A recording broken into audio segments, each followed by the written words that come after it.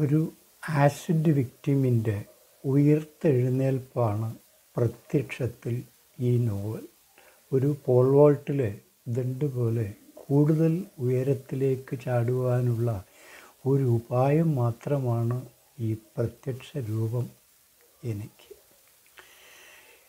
Archimedes പറയുന്നുണ്ട് ഈ ഭൂമിയെ ഞാൻ ഉയർത്തിത്തരാം. പുറത്ത് എനിക്ക് നിൽക്കാനുള്ള ഒരു ഇടം തന്നാൽ മതി എന്ന്. ഫിക്ഷനെ സംബന്ധിച്ചും നമുക്കത് തന്നെ പറയാം. ഈ ജീവിതത്തെ സൂക്ഷ്മമായി ആവിഷ്കരിക്കാൻ ഒരു പ്രത്യേക തലം മുമ്പില്ലാതിരുന്ന ഒരു തലം ആവശ്യമാണ്. ദസ്തേവ്സ്കിയുടെ ബ്രദേഴ്സ് പോലെ ഒരു ഗംഭീരമായ ആത്മകഥ എഴുതാൻ ആത്മകഥ അപര്യാപ്തമാണ് ഫിക്ഷനെ സഹായിക്കും ഈ കഥയിലെ കഥാപാത്രമായ സുലഭയിലൂടെ സഞ്ചരിച്ചാൽ മാത്രം എനിക്ക് എത്തിച്ചേരാൻ കഴിയുമായിരുന്ന ചില ഇടങ്ങൾ ആണ് എന്നെ പ്രചോദിപ്പിച്ചത്. ഒരാസിഡ് വിക്റ്റിയും ശൂന്യത ഏറ്റവും ശക്തമായി അനുഭവിച്ച ഒരുവൾ ആണ് രോഗത്തിന് ശേഷം അല്ലെങ്കിൽ ആശുപത്രിയിൽ നിന്ന് വന്ന ശേഷം ആദ്യമായി കണ്ണാടി നോക്കുമ്പോൾ ഒരു ആസിഡ് വിക്റ്റിം അനുഭവിക്കുന്ന ശൂന്യതയ്ക്ക് തുല്യമായ ശൂന്യത ഇല്ല. എല്ലാറ്റിന്റെയും അടിസ്ഥാനമായ ഒരു മുഖമിതാ തനിക്ക് ഇല്ലാതായിരിക്കുന്നു. അവിടമാണ് ജീവന്റെ അവിടമാണ് ചൈതന്യത്തിന്റെ അവിടമാണ് വികാരത്തിന്റെ ഭാവപ്രകാശനത്തിന്റെ സ്നേഹത്തിന്റെ മനസ്സിന്റെ ആത്മാവിന്റെ ഇരിപ്പിടം. ആ ഇരിപ്പിടം ഒരാളിതാ തട്ടിത്തെറിപ്പിച്ച് കളഞ്ഞിരിക്കുന്നു.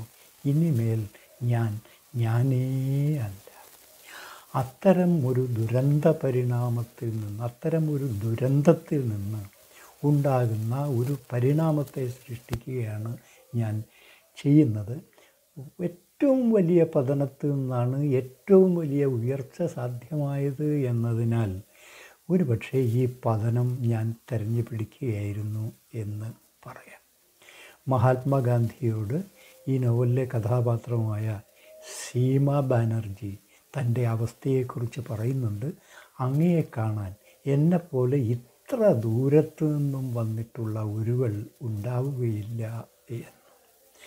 മഹാത്മാഗാന്ധി പറയുന്നുണ്ട് നേരാണ്. എന്നെ കാണാൻ വന്ന ഒരുവളും ഇത്രമേൽ ഏകാന്തത അനുഭവിച്ചിട്ടില്ല. ഇത്രമേൽ അകലത്ത് നിന്നല്ല. പക്ഷേ ഈ അനുഭവം നീ ഉപയോഗപ്പെടുത്തണം. അതായത് മഹാതാപസന്മാരൊക്കെ അഗ്നിയിലിരുന്നിട്ടും ജലത്തിലിരുന്നിട്ടും നിത്യപഷ്ണിയിലിരുന്നിട്ടും സാധിച്ചത് അങ്ങനെ മാത്രം സാധിക്കാവുന്ന ഒരു സാക്ഷാത്കാരം ആണ്. നിനക്കിതാ ഭാഗ്യവശാൽ അറിഞ്ഞുകൊണ്ടല്ലെങ്കിലും ഇങ്ങനെ ഒരു വലിയ തപസ് നിന്റെ അനുഭവത്തിന്റെ ഭാഗമായിരിക്കുന്നു. നിനക്ക് നിനക്ക് മുന്നേറാം മറ്റാരെയും പോലെയല്ലാതെ. അവർ ലാവോട്സയുടെ താവോ തേച്ചിങ് എന്ന കൃതി വ്യാഖ്യാനിക്കുന്നു. വളരെ പേർ അത് വായിക്കുന്നു. അങ്ങനെ മാ ഉള്ള ഒരുവൾക്ക് മാത്രമേ ലാവോട്സയുടെ ദി വേ എന്താണ് എന്ന് ഉൾക്കൊള്ളാൻ കഴിയൂ എന്നതാണ് അതിന്റെ കാര്യം. ഈ നോവലിലെ ഈ പ്രധാന കഥാപാത്രം ജീവിതത്തിന്റെ ഈ ഘട്ടങ്ങളിലൂടെയൊക്കെ കടന്നു പോയത് കൊണ്ടാണ് അവൾ ക്രമേണ ഒരു തത്വചിന്തകയോ ഒരു എഴുത്തുകാരിയോ വ്യത്യസ്തമായി ചിന്തിക്കുന്ന ഒരുവളോ അവളെ കൊണ്ട് അവളെ മാറ്റിവെക്കാൻ പറ്റാത്ത ഒരു വ്യക്തിത്വമുള്ള ഒരുവളോ ഒക്കെയായി ഭൂമിയിൽ മാറുന്നത്. ഒരു കോവിഡ് കാലത്തെ സമ്മർദ്ദങ്ങൾ ഈ നോവലിന് രൂപകൽപ്പന ചെയ്യാൻ എഴുതാൻ ഒക്കെ എന്നെ സഹായിച്ചിരിക്കാം. മരണവും രോഗവും ഒക്കെയാണ് ഒരാളെ തത്വചിന്തകൻ ആക്കി തീർക്കുന്നത്. ജീവിതത്തെക്കുറിച്ച് സവിശേഷമായി ചിന്തിക്കേണ്ട സന്ദർഭം അപ്പോൾ മാത്രമാണ് ഒരാൾക്ക് കൈവരുന്നത്. അങ്ങനെ ഈ ആസിഡ് വിക്റ്റിം സമാനരായ പലരുള്ള ഒരു സംഘടനയുടെ നേതാവാണ്. ഈ ആസിഡ് വ്യക്തിയും ചെറുപ്പം തൊട്ടേ കവിതകൾ എഴുതി പോന്നിരുന്ന ഒരുവളാണ്. ഏകാന്തത എന്താണെന്ന് ഒരു പരിധിവരെ അറിഞ്ഞതാണ്. പക്ഷേ ഇപ്പോൾ അവൾ അറിയുന്ന ഏകാന്തത മുമ്പ് ആരും അറിഞ്ഞിട്ടില്ലാത്തതാണ്. ഒരുവളും അവളുടെ മുഖത്തേക്ക് നോക്കുന്നില്ല. അവളോട് സംസാരിക്കുമ്പോൾ ദേഹത്തിലേക്കോ പുറത്തേക്കോ നോക്കുന്നു. ഇങ്ങനെയായിരുന്നെങ്കിൽ ഞാൻ ജീവിച്ചിരിക്കുമായിരുന്നില്ല എന്ന ഭാവമാണ് അവളുടെ ഉറ്റ സുഹൃത്തുക്കൾക്കൊക്കെ അവളോട് ഉണ്ടാകുന്നത്. ഒരു നഴ്സ് അവളെ ഡ്രസ്സ് ചെയ്യിച്ചു കൊണ്ടിരിക്കുമ്പോൾ ഛർദി വന്ന് പേഷ്യന്റെ അടുത്തേക്ക് ഓടിപ്പോകുന്നുണ്ട്.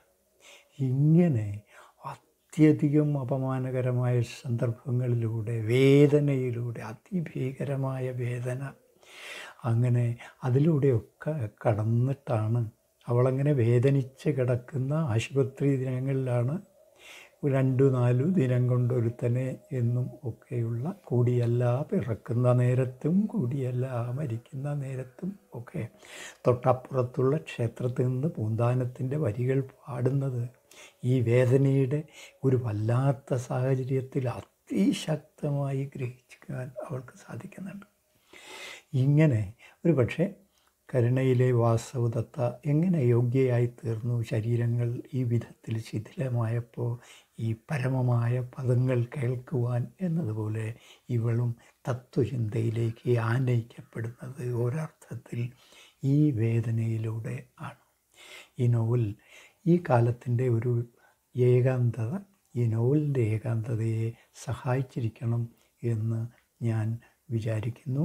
പിന്നീട് ഏറ്റവും പ്രസന്നവതിയായി അവൾ മാറുന്നുണ്ട്. ഈ നോവലിൽ പലർക്കും തുണയായി അവൾ മാറുന്നുണ്ട്. ഈ നോവലിൽ അവളുടെ ഒരു ജീവിതയാത്ര ആകുന്നത്ര സംക്ഷിപ്തമായി. എന്റെ സ്വപ്നം അതായിരുന്നു മലയാളത്തിലെ ഏറ്റവും സാവധാനം വായിക്കുന്ന നോവൽ എന്റേതായിത്തീരണം തീരണം എന്നതായിരുന്നു എന്റെ സ്വപ്നം. അത് സാക്ഷാത്കരിച്ചോ ഇല്ലയോ ഒന്നും ഞാൻ പറയേണ്ടുന്ന കാര്യമേ അല്ല. ഏതായാലും എന്റെ ആ അഭിലാഷ സ്വപ്നം ഇരിക്കുന്നു. ധാരാളം കഥകളും ധാരാളം സൂചിത കഥകളും പിന്നെ ഒക്കെ ഉപയോഗിച്ചിട്ടാണ് ഞാൻ ഈ നോവൽ പറഞ്ഞിരിക്കുന്നത്. നിങ്ങൾക്ക് വേണ്ടി അതിലെ ഒരു ചെറിയ കഥ ഞാനിപ്പോൾ വായിക്കാം. സത്യവും നുണയും സതീർത്ഥ്യരായിരുന്നു. ഏറെ കാലത്തിന് ശേഷം അവർ കണ്ടുമുട്ടുന്നു.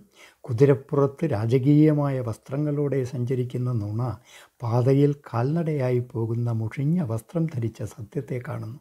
കുതിരയെ പാതയോരത്ത് നിർത്തി താഴെ ഇറങ്ങി അയാൾ സതീർത്ഥ്യനെ ആലിംഗനം ചെയ്യുന്നു. നിനക്കിതെന്തു പറ്റി? കണ്ടാൽ എന്തെങ്കിലും കഴിച്ചിട്ട് നാല് ദിവസമായെന്ന് തോന്നുന്നല്ലോ. നാലല്ല അഞ്ച് ദിവസം. സത്യം പറഞ്ഞു. എന്റെ കണിശക്കാരാ നേരം കളയാതെ കുതിരപ്പുറത്ത് കയറി നമുക്ക് എന്തെങ്കിലും കഴിക്കാം. അവർ പട്ടണത്തിലെ പ്രശസ്തമായ ഹോട്ടലിലേക്ക് പുറപ്പെട്ടു. എന്തൊരു സ്വാദാണ് വിഭവങ്ങൾക്കെല്ലാം.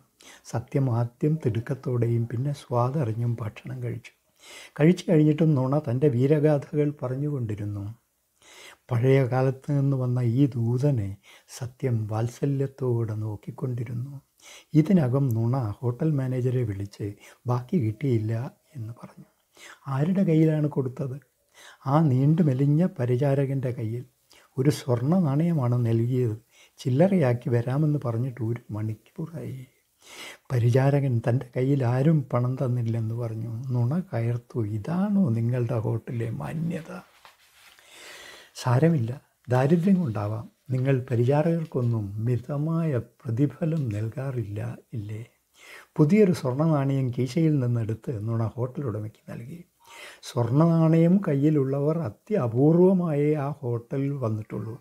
മാന്യനായ ആ സമ്പന്നനെ അവഗണിച്ചത് ക്ഷമ ചോദിച്ച് ഹോട്ടൽ ഉടമ സ്വർണ നാണയം തിരികെ നൽകുകയും നേരത്തെ നൽകി എന്ന് പറഞ്ഞ സ്വർണ നാണയത്തിന്റെ ബാക്കി നൽകുകയും ചെയ്തു. അതിക്രൂരമായി മർദ്ദിക്കപ്പെടുന്ന പരിചാരകന്റെ കരച്ചിൽ കേട്ട് സത്യം നിശബ്ദനായി നുണയുടെ പിന്നാലെ ഹോട്ടലിൽ നിന്നിറങ്ങി. ഇനി എപ്പോഴാണ് കാണുക എന്ന് ചോദിച്ച നുണയോട് ഒരിക്കലും കാണാൻ ഇടവരാതിരിക്കട്ടെ എന്ന് സത്യം പറഞ്ഞു. പൊട്ടിച്ചിരിച്ചുകൊണ്ട് നുണ കുതിരപ്പുറത്ത് കയറി ഓടിച്ച് പോയി. ഈ സത്യാനന്തര കാലത്ത് എഴുതപ്പെട്ട ഈ നുണകൾ കൂടി ഉപയോഗിച്ച് ഞാൻ എഴുതിയ ഈ സത്യം നിങ്ങൾ വായിക്കുക. അടുത്ത വായനയ്ക്കുള്ള ആമുഖമായി ആദ്യ വായന മാറിയെങ്കിൽ എന്ന് ഞാൻ പ്രതീക്ഷിക്കുന്നു. നന്ദി.